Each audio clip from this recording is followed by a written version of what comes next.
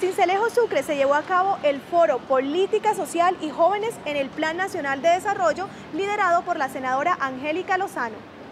Se llevó a cabo el foro de la política social y jóvenes del Plan Nacional de Desarrollo en Cincelejo, capital del departamento de Sucre, con cifras alarmantes en informalidad laboral, embarazo en adolescentes y consumo de drogas ilícitas. Tenemos un reto como sociedad y como país y es incidir, presionar para que en el plan de desarrollo haya recursos reales que le den futuro al tesoro de Colombia que son los jóvenes.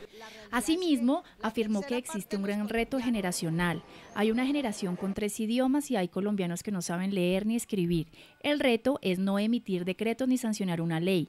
Es una decisión política con recursos enfocados que logren un impacto. A nivel municipal, al nivel micro, el más chiquitico y concreto, no a carreta o a palabras elegantes de nivel nacional, sino que se cumpla con la inversión que es modesta en los municipios para generar oportunidades para los jóvenes. El gran desafío es contar con consejos municipales y departamentales de juventud en el marco de la ciudadanía juvenil, apoyados en el Departamento de Sucre y entes territoriales para amparar a los jóvenes.